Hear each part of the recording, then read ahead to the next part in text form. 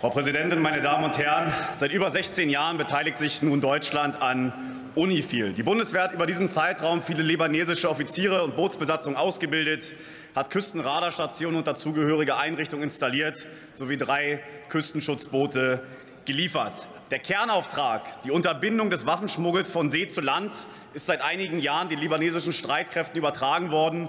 Boardings verdächtiger Schiffe erfolgen also ausschließlich durch libanesische Kräfte. Das war Ziel dieser Mission und ist zu einem beachtlichen Teil der Verdienst von unseren Männern und Frauen in Uniform. Ihnen gilt unser Dank, Wertschätzung und Respekt.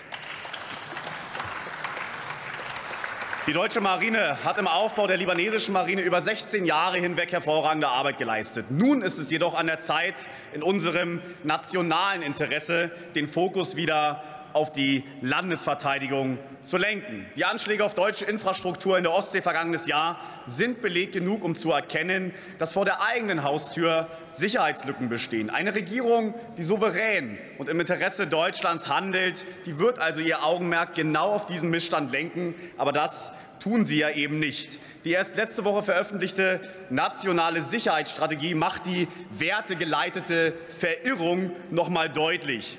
Globaler Klimawandel, transatlantisches Bekenntnis und obendrein beschwören Sie die EU als geopolitische Akteurin. Immer sind deutsche Interessen mit anderen gleichgesetzt oder gar sogenannten marginalisierten Gruppen und ihrer feministischen Emanzipation untergeordnet. Und nicht zuletzt beabsichtigen Sie, im indopazifischen Raum mit nicht vorhandenen Säbeln zu rasseln.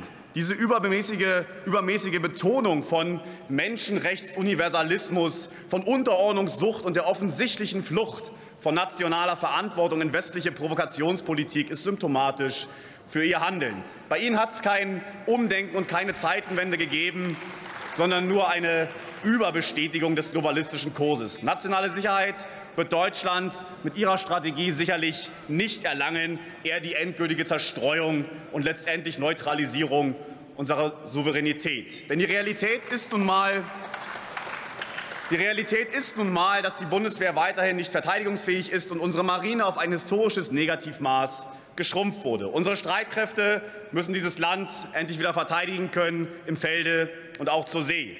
Vor diesem akuten Notstand und einer selbstverschuldeten sicherheitspolitischen Ohnmacht erscheint eine Verlängerung der Beteiligung deutscher Streitkräfte an UNIFIL geradezu grotesk.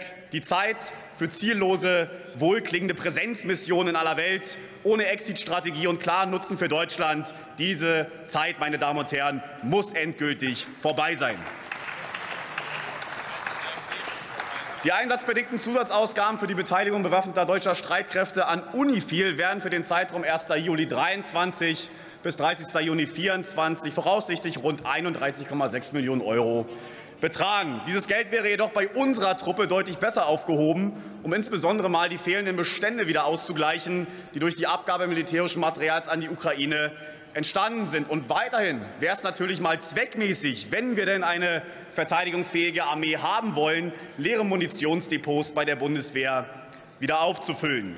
Wir lehnen eine Verlängerung des UNIFIL-Mandats deshalb im Interesse unserer Soldaten und der tatsächlichen nationalen Sicherheit unseres Landes ab. Denn diese liegt in erster Linie in der Landesverteidigung. Und diesem Imperativ, meine Damen und Herren, haben Sie sich als Verantwortungsträger für Volk und Heer zu beugen. Vielen Dank.